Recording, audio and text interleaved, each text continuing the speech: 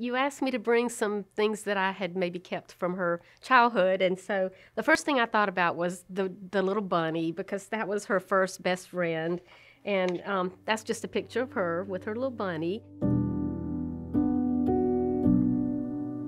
Okay, I'm Karen Cumbia, and I am a family of three my husband and my daughter.